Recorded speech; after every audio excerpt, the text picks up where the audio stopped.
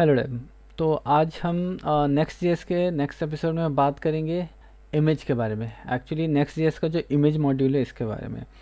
जब भी आप किसी वेबसाइट को क्रिएट करते हैं तो उसे उसमें इमेजेस का बहुत बड़ा योगदान होता है।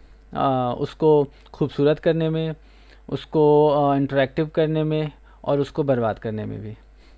बर्बाद इन द सेंस कि अगर आप इमेज को ऑप्टिमाइज़ नहीं कर रहे हैं इमेज प्रॉपरली अगर आप उसको आ, देख के यूज़ नहीं कर रहे हैं आपने तो इस केस में क्या होता है कि आपका वेबसाइट स्लो हो जाता है। और जैसे ही आपका वेबसाइट स्लो होता है आ, आपके वेबसाइट्स पर से यूज़र्स जो है वो भागने लगते हैं ठीक है? तो नेक्स्ट जेएस में इमेज का जो मॉड्यूल है काफ़ी एडवांस है और ऑटोमेटेड है। तो चलिए बात करते हैं कि हम इसको यूज़ कैसे करेंगे। तो ऑलरेडी मैंने एक छोटा सा एक प्रोजेक्ट पे काम कर रहा हूँ तो प्रोजेक्ट जो है ऑलरेडी मैंने सेटअप कर रखा है। तो मैं अपना डेव सर्वर सबसे पहले ऑन कर लेता हूँ तो हम इसको देख पाएँगे। तो उससे पहले मैं इसका सिंटेक्स पे हम थोड़ा सा ध्यान दे देते थे। तो सिंटेक्स पे अगर मैं ध्यान दूँ तो नेक्स्ट जेएस का जो नेक्स्ट एक्चुअली इमेज मॉड्यूल है, उसको सबसे पहले आपको इंपोर्ट करना होता है। तो यहाँ पर मैंने उसको ऑलरेडी इंपोर्ट कर लिया। जैसे कि आप यहाँ पर देख सकते हैं इंपोर्ट इमेज ठीक है? Image from next slash image ठीक है? तो इमेज का जो मॉड्यूल है ऑलरेडी मैंने इंपोर्ट कर लिया है।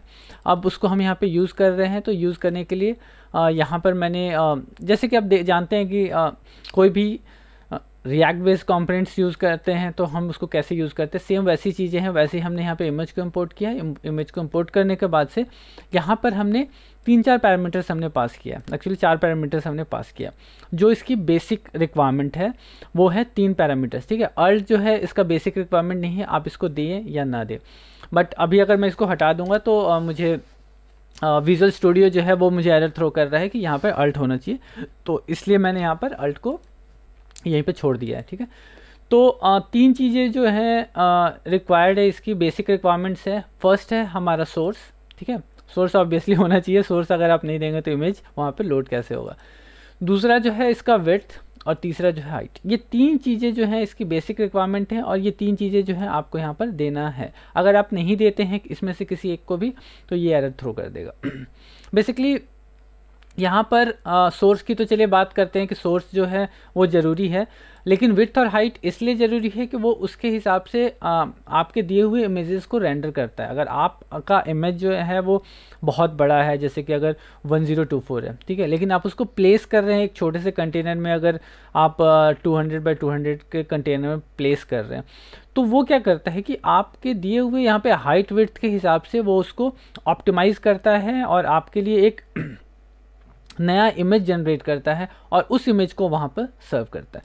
तो देखते हैं कि ये कैसे करता है, ठीक है? तो उससे पहले मैं इमेज दिखा दूँ तो जैसे कि यहाँ पे मैंने सोर्स इमेज यहाँ पे डाल रखा है और ये सोर्स इमेज जो है नॉर्मली जब भी हम नेक्स्ट जेस के प्रोजेक्ट पे काम करते हैं तो जितने भी पब्लिक सोर्सेज हैं, ठीक है? जैसे कि इमेजेस इनको हम डालते हैं पब्लिक डायरेक्टरी में। जैसे कि यहाँ पे आप देख रहे हैं कि जब भी आप नेक्स्ट जेस का प्रोजेक्ट क्रिएट करते हैं तो पब्लिक के नाम से एक आपको डायरेक्टरी मिलता है और उस डायरेक्टरी के अंदर मैंने यहाँ पर एक इमेजेस के नाम से फोल्डर बनाया है और इस इमेजेस के अंदर मैंने यहाँ पर सारी इमेजेस यहाँ पर डाल रखे हैं।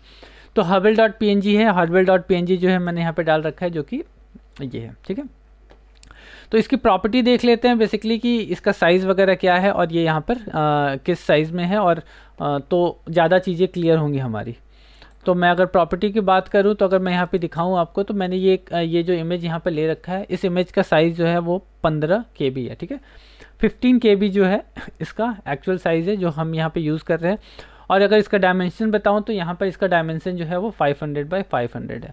लेकिन डिज़ाइन के अकॉर्डिंगली जो उसकी रिक्वायरमेंट है मेरी वो रिक्वायरमेंट क्या है? वो है आ, जो उसका कंटेनर का जो साइज़ है वो काफ़ी छोटा है। तो उस साइज़ के हिसाब से मैंने इसको साइज़ दिया है यहाँ पर। तो मुझे इसकी रिक्वायरमेंट जो थी यहाँ पर हमारे जो यहाँ पे कंटेनर एक्चुअली मैं यहाँ पे एक इमेज मैंने यहाँ पे शो किया डिज़ाइन वाइज मैं यहाँ पे दिखा रहा हूँ अदरवाइज़ मुझे यहाँ पर चार या पाँच इमेजेस दिखाने हैं। तो पर एक कंटेनर का वर्ट एक्चुअली हाइट की मैं बात सॉरी वेट की मैं बात करूँ तो मुझे जो है वो 300 देना है। तो 300 के हिसाब से मैंने यहाँ पर आ, इसका विथ और हाइट जो है वो मैंने यहाँ पर प्रोवाइड कर दिया इसका विथ और हाइट मैंने यहाँ पर प्रोवाइड कर दिया।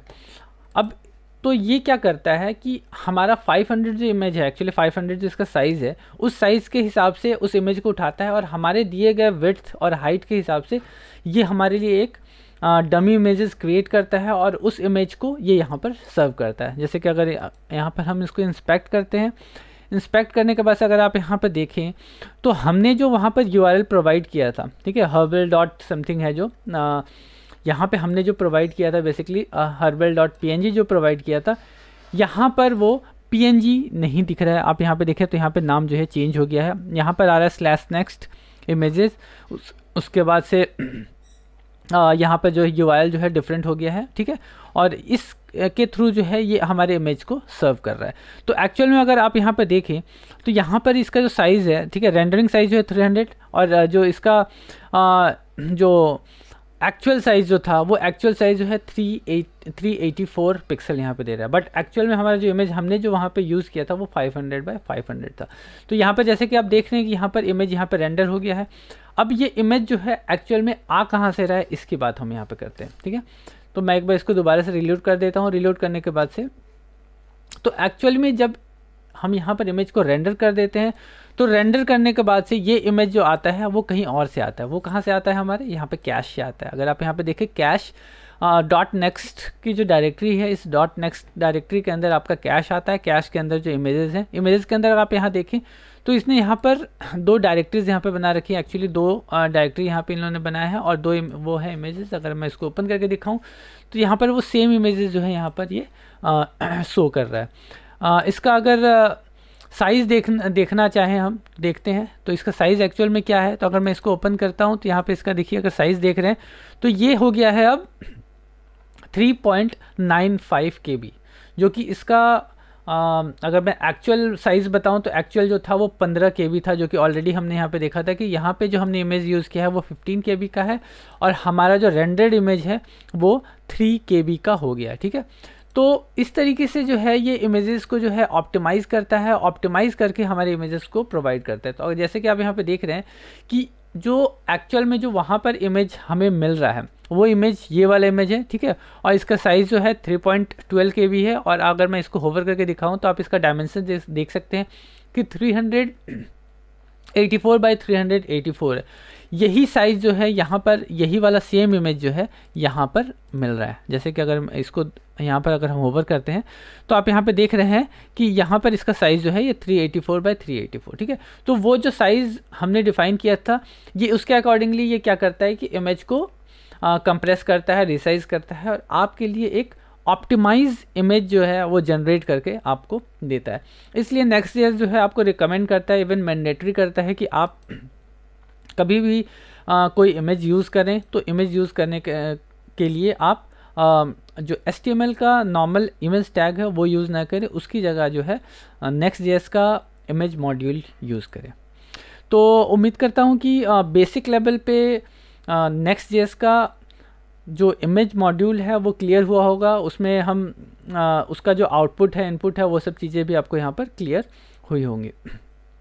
तो अगर पसंद आया हो जानकारी तो प्लीज़ वीडियो को लाइक और चैनल को सब्सक्राइब करना ना भूलें।